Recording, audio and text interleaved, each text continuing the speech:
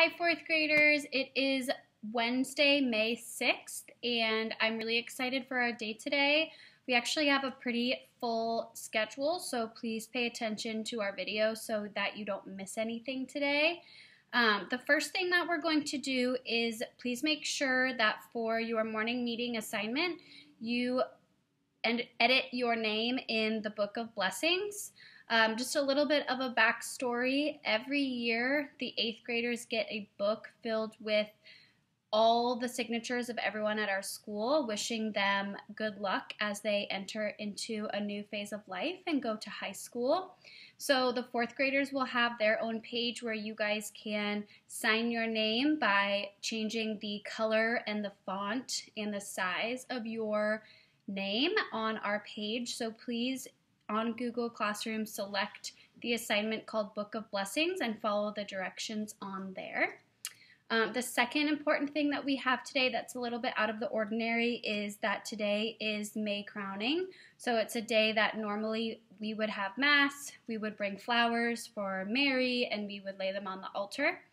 Um, I have a class call scheduled for us at 11 o'clock this morning as our um, May activity. If you can make it, that would be awesome. We are going to be doing a drawing of Mary and then giving her flowers as a drawing, um, as kind of a way that we can honor her.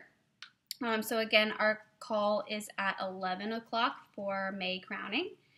And then we also have another call today at 2 o'clock that will be for our class picture day. So please make sure that by 2 o'clock you have your school uniform on and you have um, make sure just make sure that the background of your video is nice and a neutral background. So I'll just be sitting up against this blank white wall.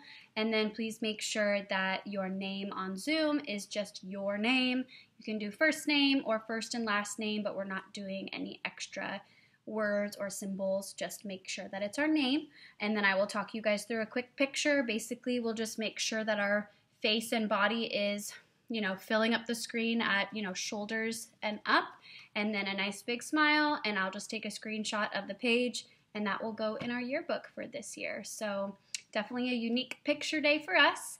And then after we take our two o'clock picture, we are going to be working on a Mother's Day gift.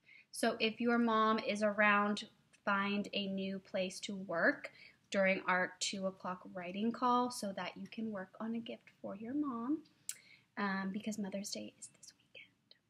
Okay, let's go ahead and continue our morning meeting with prayer. Our theme this week is Divine Mercy. In the name of the Father, and of the Son, and of the Holy Spirit, amen.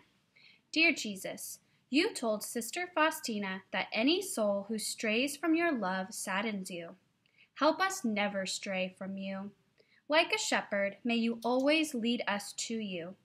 Keep us in your care until you lead us home to heaven. Thank you for being the Good Shepherd. Amen. In the name of the Father, and of the Son, and of the Holy Spirit. Amen. All right, let's go ahead and listen to Mr. Benjamin read from Rachel's journal, and then I will talk you through the rest of our schedule today. I'll see everybody today at 11 o'clock for our May crowning class call. Thank you. Welcome back, fourth grade. It's day three of the journal entries this week. We're going to keep going with Rachel's journal for a story from a girl's journey to the west. This one is July 21st, 1850. We have left the Platte and are now following the Sweetwater River. I have not been recording our passage as fruitfully as I should. Despite what grandfather said, I do have work to do. Anyway, at this late date, I should not I should note that we have passed Independence Rock and Devil's Gate and are traveling through the Black Hills. The views are pretty. I miss the open wide space of the prairie. July 24th, 1850. We are slow with all the stock we have to feed and water that usually other wagons pass us by. But today we overtook a large train that had stopped because several people were sick with cholera. Eight had already died from it, and I am sure we passed their graves. But we passed so many graves. I have almost stopped seeing them. They are just a part of the landscape. Mr. Elias rushed past the sad settlement, and we all held our breaths, hoping to escape contagion.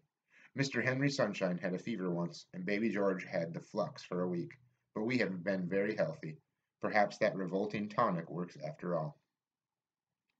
July 28, 1850.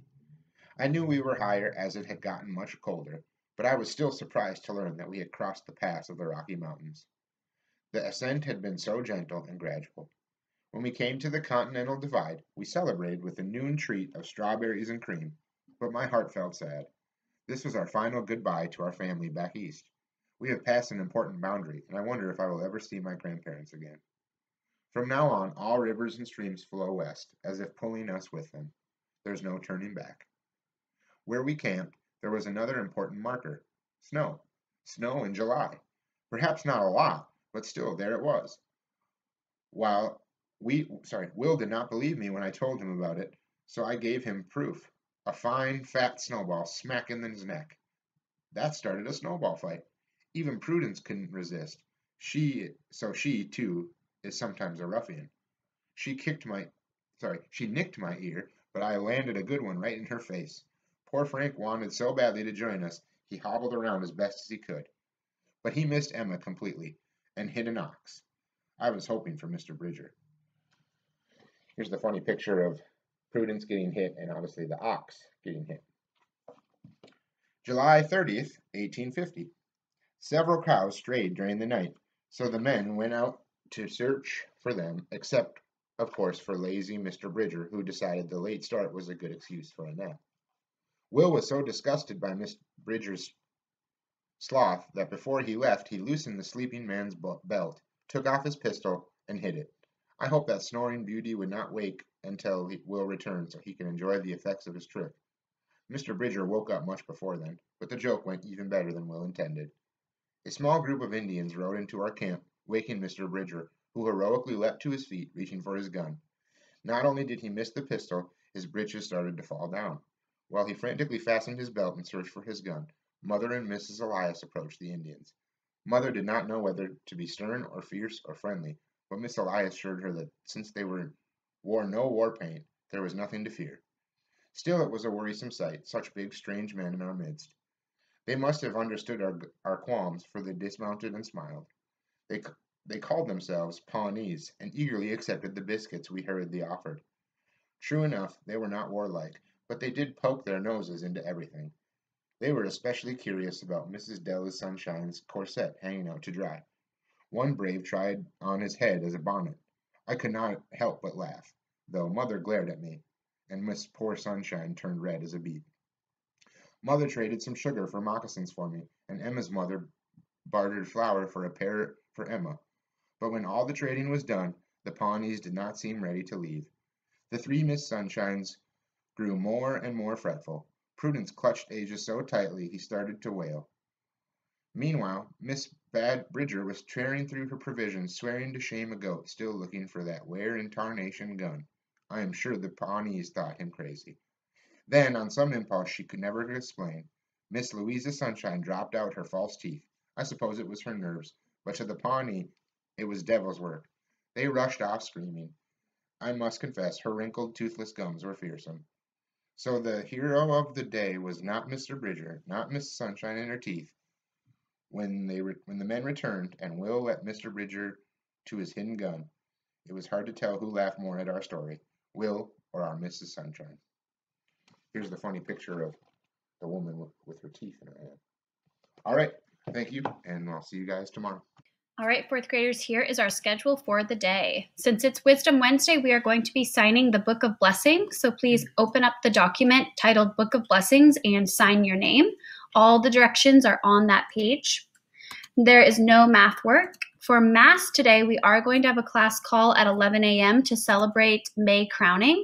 We're going to do a bit of a craftivity and we'll do some reading about Mary.